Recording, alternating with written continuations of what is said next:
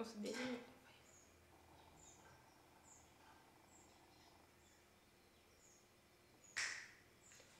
viewers, welcome to Elimu TV, a station where you watch and learn. I'm your teacher Philaris Street. Today I'll be taking you through English Form 2, Lesson 4. Our topic will be on listening and speaking. The subtopic will be on nonverbal communication. So I expect you as a student by the end of the lesson be able to describe the basic nonverbal skills such as facial expression, gestures, and the eye contact. We'll begin with the facial expression as a one, one of the non-verbal skills and we say the head and the face are very expressive and effective instruments of communication. Faces express feelings such as anger, surprise, fear, disgust, happiness, and sadness. We also have the roles of nonverbal communication. Nonverbal communication enhances repetition. It repeats and often strengthens the message you are making verbally. Uh, we also have substitution. You can say it can substitute for a verbal message. Contradiction. It contradicts the message you are trying to convey, hence indicating to your listener that you may not be telling the truth. We also have assenting. It may underline a verbal message, slamming a door shut, and underline the importance of your message. Complementing. Another role, they add to verbal messages, hence increasing the impact of your message.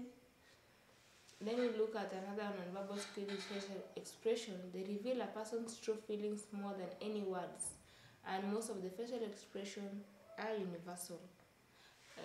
Now we look at another type of nonverbal skills, which is gesture. And we say it is the motion of the body, especially when one made to emphasize, sorry, when especially when made to emphasize a speech.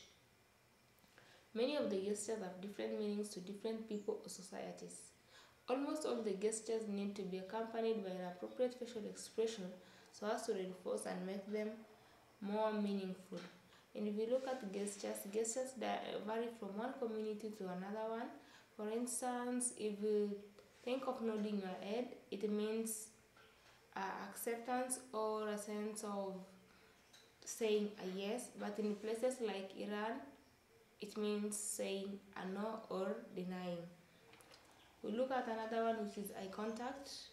Uh, it is important to look directly at someone you're talking with. It's also important when you want to stress a point. When you want to show that you feel strong, you feel strongly about something, you should maintain your eye contact. Eye contact helps in maintaining the flow of communication and gauging the other person's interests.